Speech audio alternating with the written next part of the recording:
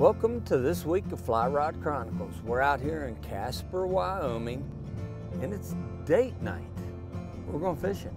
Nice. I'm going to try. I'm going to do everything I can do to be the perfect date. Shelly, did you bring any Advil by chance? Shoulder's a little sore over here. Yep, yep. Yes. Oh. that big one. Ooh, she's on a big one. Dang. Woohoo! Brownie! Oh! You know, Shelly claims that I was the first boy and last boy that she's ever kissed. She went right to town on that fish. She had no problem putting lips on it. She's kissing it? Yes. Oh, so nice. That's ridiculous. Beautiful fish. That was incredible. Casper, Wyoming, home of beautiful fish. Traveling the world, fishing, enjoying the great outdoors. Those are things that would have seemed impossible to me when I was a kid growing up in the mountains of West Virginia. I'm a lucky man and I never want to forget it, and I'm hoping that sharing my experiences with folks will inspire them to do the same. I'm Curtis Fleming, and these are my Fly Rod Chronicles.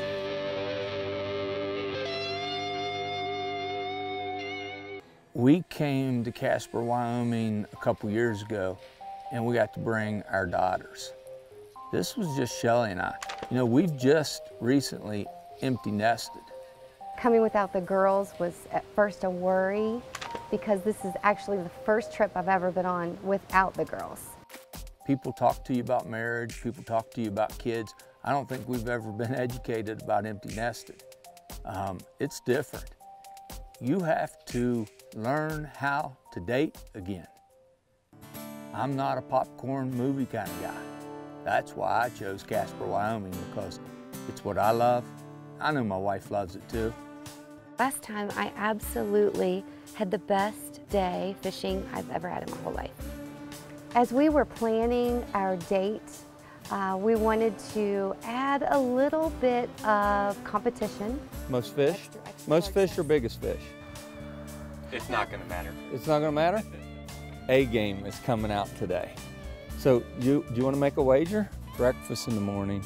All right, so here's the deal. Let's make it interesting because breakfast. Uh, what is it? Crack a couple eggs, cook some bacon. That's not. Loser has to take and pay for all the guides to go out to breakfast. Ah. there you go, because that's getting expensive. You know, let's let's raise. The, I mean, money where your mouth is, Curtis. Folded himself you know, you're not, into this yeah. one. You're not worried.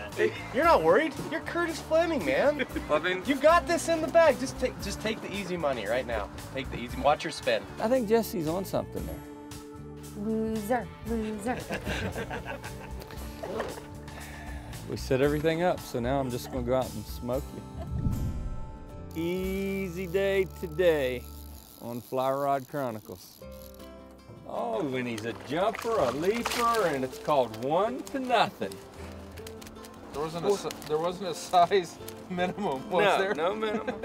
and we'll try to hey, we'll try to keep the noise down because we don't want them to know we're ahead. Got to be painful looking from the other boat. Little guy. Good deal, man.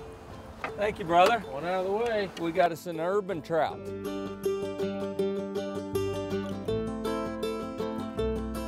Yep, sow bug, sow bug, sow bug. Please tell me he didn't just catch one. Oh, they're getting bigger, aren't they? Oh, yep, there we go. Just like it's supposed to happen. You live right, you get rewarded. Nice. Pretty, Little man. bow. Mm-hmm. Gorgeous, gorgeous. Sweet. Typical Curtis and Shelly day. Somehow, it always turns competitive. Woohoo! Competing with Shelly, I know I can't win, but I am a betting man. Awesome! Yes! Go Team Shelly! Good job. High five. Woo! You rock. Go do her again. Same old magic, Ty. Same old magic. Last year, I had the opportunity to come to Casper and fish with Ty, and I had one of the most incredible days fishing I've ever had. Shelly's one of those clients you just pray you get every day. You know, you tell her one thing and she's like, okay, and she works on it the rest of the day. She did awesome again as normal and she did really good uh, fighting the fish. Oh my gosh, look at him jump in. It's really nice to have clients in your boat that are super excited to catch fish. That's a nice one too. How you doing there, Haas? You probably should have took that other channel. It's, it's a very effective hold. Pretty hot over there, isn't it? Have you seen one of these yet today? Yeah, you wanna see what that looks like? See? So look, let's just, uh, you know, where are we at here? How much you got? Three? Tied up. Tied, baby. Come back for more Fly Rod Chronicles as Shelly and I fish in North Platte River with the guys at Crazy Rainbow.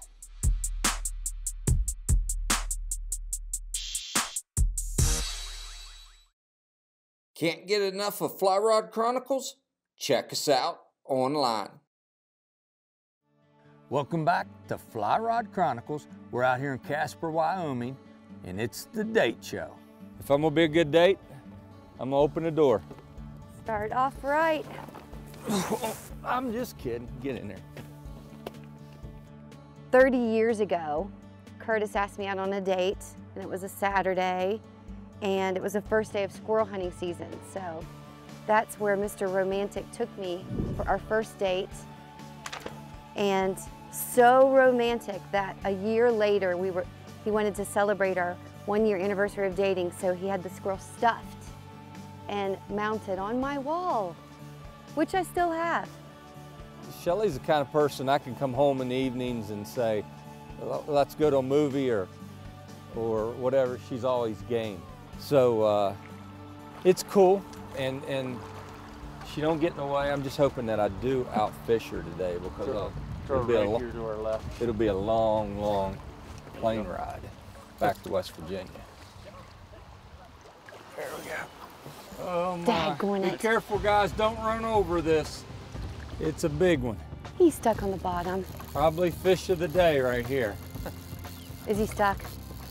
Or is it really a fish?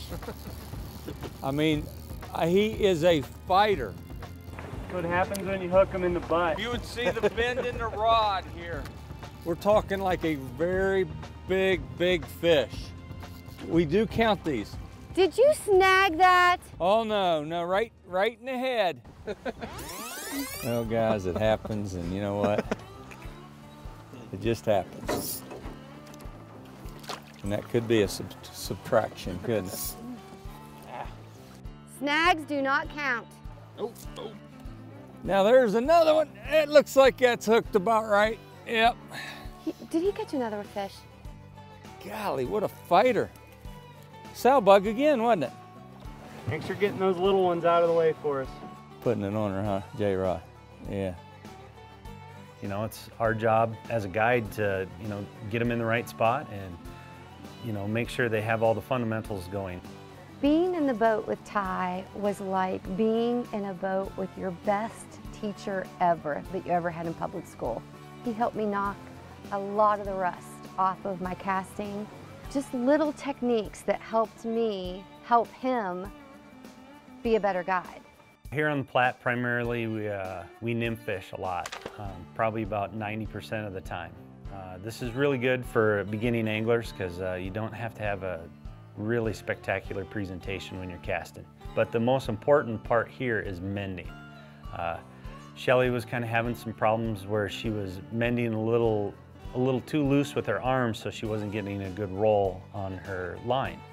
So uh, I was just kind of helping her out by keeping that elbow in and really twisting her wrist over, and that really gets that line to travel a lot better so you get a nice crisp mend. Uh, she did awesome. Uh, she caught quite a few fish, so it was good. Yep, yep. Yes! Oh! Missed that big one. Ooh, she's on a big one. Dang. Woo-hoo-hoo-hoo! Did you catch my mama's babies? Woo-hoo-hoo! Brownie! Oh! I saw this spectacular brown at the end of my line. I just could not believe that I caught a brown trout. You know, you got to land it first for it to actually count. Brown trout in this river are pretty rare to catch. Um, I've had friends that have fished this for 10 years and never caught a brown, so they're really special fish. This is usually the time they come off. Yeah, put, Curtis, put some, you wanted a big brown on a cooler, right? put a, put a firm, firm, firm grip on that reel. Oh, that is so beautiful. Nicely done. Oh. Even the guides were absolutely like, Shelly, that's incredible that you caught a brown. I bet Curtis isn't going to catch one and he's going to be so jealous. Oh my goodness. Five extra points for the brown. You know, Shelly claims that I was the first boy and last boy that she's ever kissed. She went right to town on that fish. She had no problem putting lips on it. She's kissing it? Yes. Oh, so nice. That's ridiculous. It's time for Trout Unlimited's release of the week.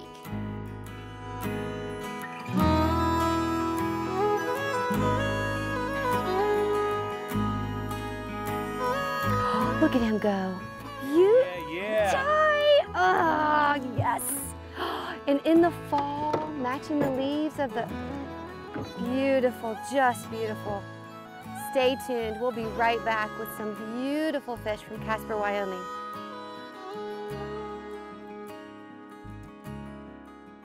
I couldn't think of a better place, better fisheries to bring my wife home away from home.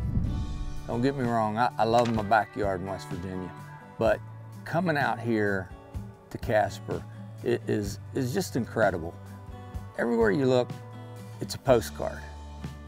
Also, everywhere you look in the river, there's a fish. This time in Casper, we were able to uh, do some of the urban fishing where we floated through town and we got to see some of the restoration activity that was going on in the, on the river. You know, I felt like a little kid and was honored that I could go on site to this restoration project that's being done right here in Casper. And to see what they're doing to restore this river, you have to check it out for yourself. It, it's amazing. It's Westerville Ecological Services. Time for conservation. So cool. I mean, I'm looking back here seeing, you know, dozers and big trucks going through the water, and, and some people claim that that's a no-no. Tell us a little bit why we're doing it. Well, this is part of our Platte River Revival. Yeah. It's a river restoration project for the North Platte River through Casper, Wyoming. And we are actually fixing the river to make it stable. The city took on this project because it's a water quality project and it reduces stormwater pollution. And we partnered with 39 other businesses and governmental agencies in Casper, Game and Fish being one of them. Mm-hmm. So besides being a terrific water quality project for drinking water, it also creates terrific fish habitat. And that's what we're doing. We're making deeper pools. Neat. So where we're standing right here, this this was water at one time. This was river just a few days ago. Right. Narrowing the channel makes the water, makes the river run faster, Yep. makes deeper pools for fish. And obviously when you don't have erosion and sediment, that makes for better drinking water. Sediment is a big water pollutant. Well, that's awesome. Well, thank you for letting us come out here and film, and and you know, I got to bring my wife, and we got to have a date out here on the river. Wonderful. And I had my kids out here last year, and they're they're really not happy with us that they didn't get to come back for this trip. Well, how about in a year or two from now when we have a lot more fish than we Yeah. have right now, you bring those kids and have another trip right here. We would love to. Thank you for Thank having us, you. Jolene. You know, Shelly and I got to do something that I don't think I, I've ever done. Um, we got to do an urban float. It's pretty cool. You know, it's so hard to explain that you're you're kind of in a solitude state. You're over here on this water and you're all by yourself.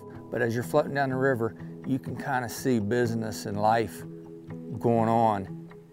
And honestly, it made me feel very fortunate that I was on the riverside. Go, nice, nice, nice, nice jumper. Jumper, TV fish, jumper, TV fish. He knows Fly Rod Chronicles is on, baby. It is on. He's like, I want to be on that show. I want to show you what I can do. Nice. Golly. That was sweet.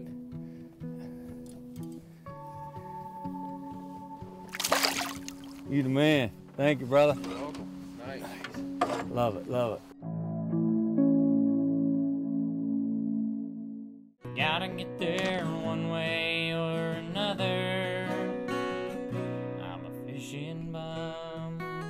For folks that have a family and want to embark on a vacation of a lifetime, Casper, Wyoming has everything they need.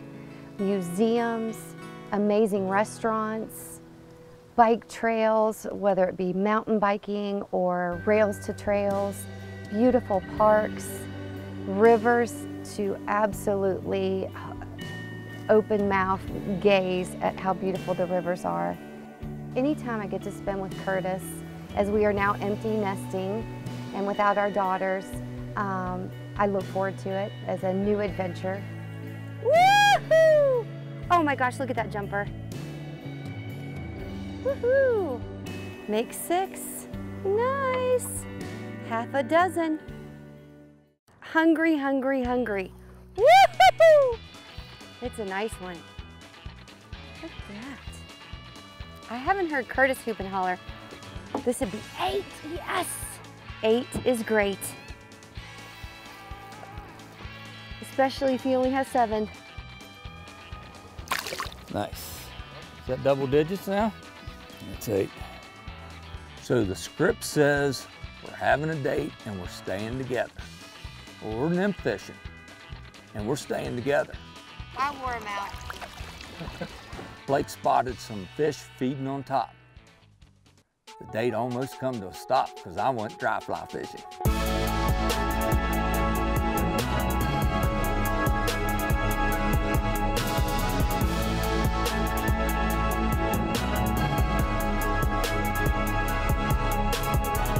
Nice little male. Sweet. So you got a good fish. They're straight at the tree there, Curtis. Straight Okay. across from you. Yep, bend it. Again. Yeah, let her swing.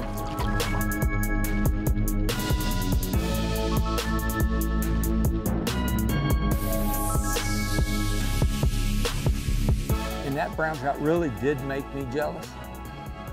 So I had to one up her and catch a brown trout on a dry fly.